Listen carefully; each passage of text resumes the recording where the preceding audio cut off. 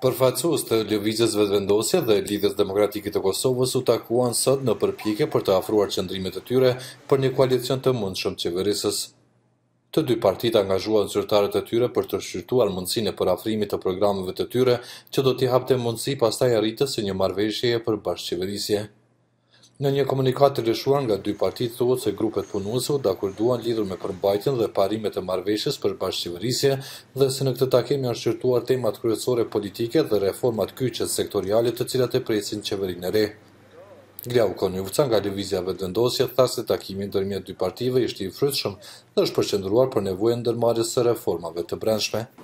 Gjëja ma e mirë e cila do të mund t'i kontribuonte kësaj atmosfere shumë të mirë të bashkëpunimit me të cilën filluan takimet tona do të ishte një farë lloj mirëbesimi që e kemi ne në trajtimin e temave.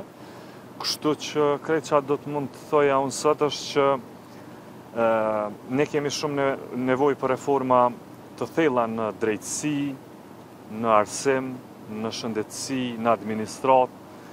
Pra janë folë ma shumë reformat sektoriale, për të cilat ne kemi nevojë. Nuk është folë as për ministri, nuk është folë as për ndarje të resoreve të ndryshme. Sipas rezultateve paraprake, Lëvizja Vetëvendosje kryeson në këto zgjedhje e pasuar nga Lidhja Demokratike. Megjithëse të dyja subjektet ishin dakorduar për bashkëqeverisje, Lidhja Demokratike e Kosovës ka thënë se nuk do të diskutojë në nivel të lartë politik me Vetëvendosjen pa u certifikuar rezultatet e zgjedhjeve, një proces ky që mund të zgjasë me javë për shkak të problemeve që u shfaqën në rinumërimin e vendvotimeve dhe në procesin e numërimit të votave nga Serbia i cili u ndërpre për shkak se zyrtarët që hapën votat u ankuan për alergji. Qendra për Numërim dhe Rinumërim tashmë ka filluar rinumërimin e votave të pesëqind e tridhjetë vendvotimeve, të cilat kanë mospërputhje së të dhënave të kandidatëve dhe subjekteve politike.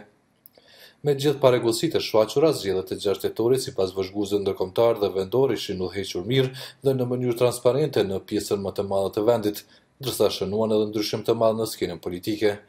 Qeveria e re pritet të përballet me sfida të shumta, sikurse të brendshme po ashtu dhe të jashtme, posaçërisht në zgjidhjen e mënyrës për të ripërtërirë bisedimet për një marrëveshje normalizimi marrëdhëniesh me Serbinë. Për Zërin e Amerikës, Leonat Shehu, Prishtinë.